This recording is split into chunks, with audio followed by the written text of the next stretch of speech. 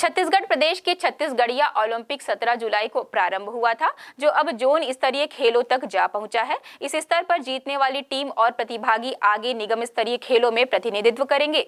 छत्तीसगढ़ के मुख्यमंत्री भूपेश बघेल के द्वारा छत्तीसगढ़ी पारंपरिक खेलों को बढ़ावा देने के उद्देश्य से छत्तीसगढ़िया ओलंपिक की शुरुआत की गई थी, जिसके द्वितीय वर्ष में 17 जुलाई से इस ओलंपिक की शुरुआत की गई थी और अब यह ओलंपिक जोन स्तरीय खेलों तक जा पहुँचा है सभी विजेता टीम और प्रतिभागी इस जोन स्तरीय खेलों में भी अपना पूरा दमखम लगाते नज़र आ रहे हैं और यहाँ से जीत निगम स्तर पर अपने अपने निगम क्षेत्र का प्रतिनिधित्व करने को तैयार हैं। इसी कड़ी में सेक्टर फोर के खो खो ग्राउंड में बालक और बालिका वर्ग का खो खो प्रतियोगिता खेली गई, जिसमें जामुल पालिका परिषद की तरफ़ से आई टीम को भिलाई शहर के कुरुद गाँव की टीम ने शिकस्त दी और जीत हासिल की। दोनों ही टीमों ने अपना अपना सर्वश्रेष्ठ प्रदर्शन किया।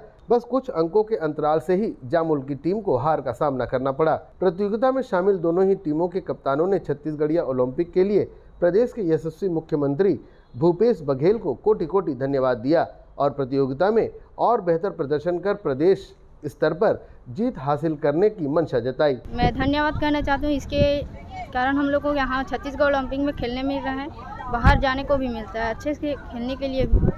सर अभी तो हम लोग खेल रहे हैं स्कूल की तरफ़ से तो अभी नॉर्मल है ठीक है मतलब स्कूल की तरफ़ से अगर और अच्छे से प्रैक्टिस करते तो हो जाते सर स्कूल के उनको धन्यवाद कहना चाहेंगे क्योंकि सभी बच्चे खेलने के लिए इंटरेस्टेड रहते हैं।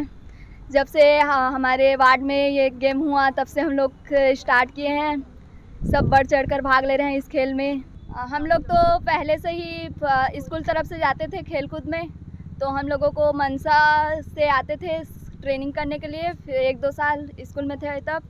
फिर उसके बाद हम लोगों को पता चल गया कि कैसे खेलना है क्या करना है। उसके बाद हम लोग अपना प्रैक्टिस जारी रखे। ओलंपिक अच्छा है? हाँ। छत्तीसगढ़िया ओलंपिक में निगम भिलाई की तरफ़ से सहायक नोडल अधिकारी अजय शुक्ला ने निगम भिलाई क्षेत्र में चल रहे छत्तीसगढ़िया ओलंपिक खेलों की जानकारी और उसकी रूपरेखा की जानकारी दी। नगर निगम भिलाई में पाँच जोन है, पाँच जोन की टीम आई है, साथ में जामुल की टीम आई है।